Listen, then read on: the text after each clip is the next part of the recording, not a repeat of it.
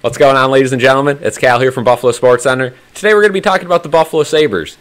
And the thing about the Buffalo Sabres is things never change. This team continuously disappoints game in and game out, year after year after year. Let's talk about Don Granato here. Because Don Granato, he's been given a chance to take this team to the next level. And let's just say last year, he took a struggling team full of young players and turned them into a very successful group of growing young players. And we all thought Don Granato could have been coach of the year last year, right? I mean, he took a team that nobody thought was going to come close to the playoffs, other than Sabres fans who thought maybe we'd get around the wild card, and got them one point out of the wild card conversation. They were one win away from making the playoffs and ending the drought last year. And that you have to congratulate Don Granato for. He did a lot on that team. He developed a lot of guys, and that is what he is good at, right? He came from the developmental system, Team USA, and he's used to doing that. He's used to getting those young players to that next level, that NHL ready level. And that's what we saw last year. And not only that, we saw the emergence of a ton of players. I mean, Tage Thompson had a massive breakout year. Guys like Casey Mittelstadt, Dylan Cozens, Jack Quinn, JJ Peterka, the list goes on and on and on about players that succeeded under Don Granato. But all of a sudden, what has changed? Something has changed because this year it looks like he has lost the room. This team is not the same as last year. The energy levels are way down. Again, one night with the Sabres, they could be hustling the whole game, put up five goals on the Rangers, you know, one of the best teams in the league, and look like, you know, leaders in the NHL.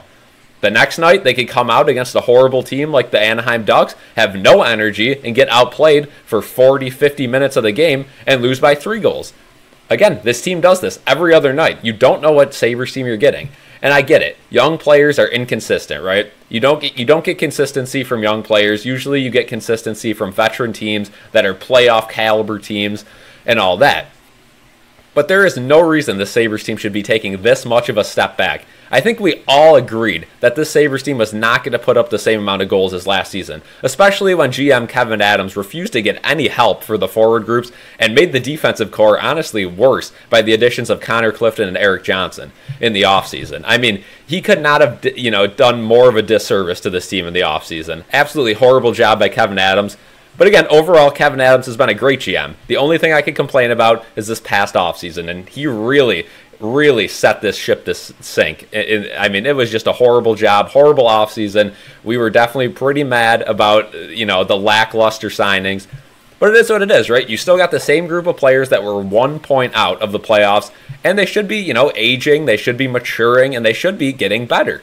Now, again, we didn't expect Tage Thompson to have the same numbers, but we expected some of the lower tier guys to step it up a little bit. Nothing's happened. The defense is in complete disarray. The offense is, you know, hit or miss each and every game. Something's different. And I don't know what Don Granato has changed. Again, we can all guess that he kind of shifted more towards a defensive team, and that is not what this team is built for at all. The defense stinks on this team, and it's not by, because of the players. I mean, look at the players on defense you have. Rasmus Dahlin, a great defender we've seen, and he, you know, just is immaculate in the offensive zone as well. Owen Power, who has the skill set of a top overall pick. He was a number one overall pick, and he has that skill set. You want to know the reason why these guys are struggling? It's pressure and it's the system. The system they are currently running, they are not executing.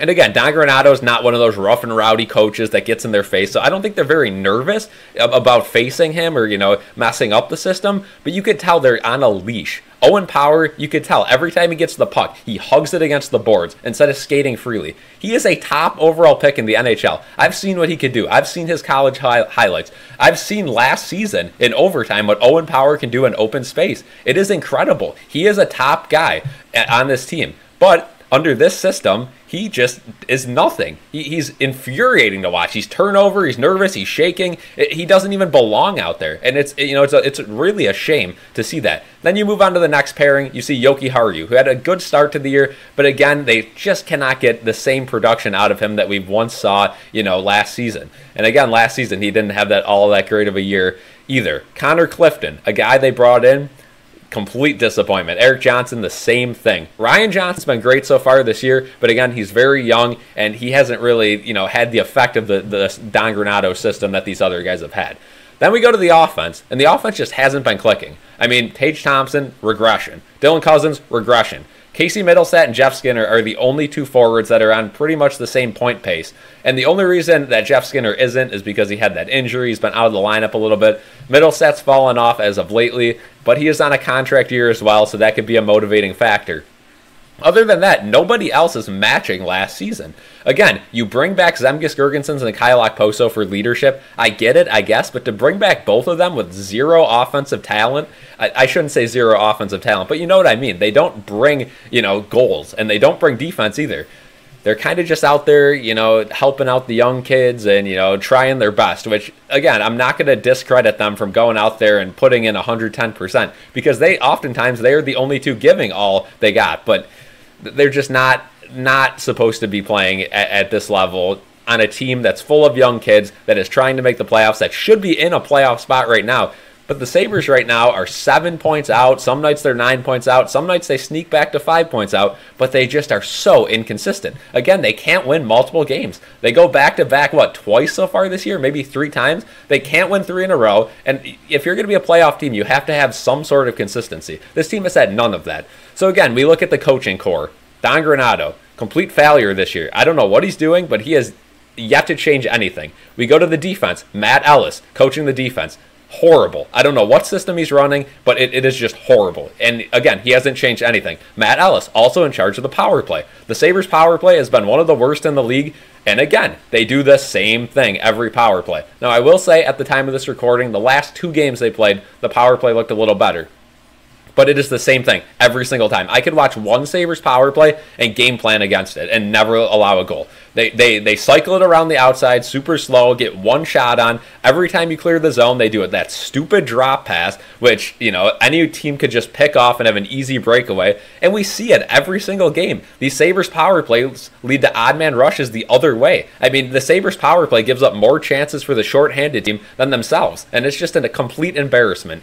You look at Mike Bales it, it, for, for, you know, goaltending. Devon Levi has had a rough year so far. It doesn't look like he's learned anything in the NHL. And personally, I think he should be it with the Amerks. But the only issue is your your goalie that you would bring up is Eric Comrie, and he's looked so bad too that you're not going to get any wins. Now, the one bright side of the goaltending core has been UPL. Ukko-Pekka Luukkonen has looked great so far this season. Started off kind of shaky, but as of late, he's really turned it on. So that is a huge upside for the Sabres because if he didn't turn it on, they were definitely going to have to go out and get a goalie for next season with Devon Levi not looking so great. But again, all these goalies are super young too. I'm not dissing Devon Levi. I think he's going to be a great goalie. They take a while to develop though. So Ukko-Pekka Luukkonen showing up is huge. And then we, we keep going down the, the coaching list. You get to the assistants and all that. It just doesn't look like there's a lot of experience on this coaching staff.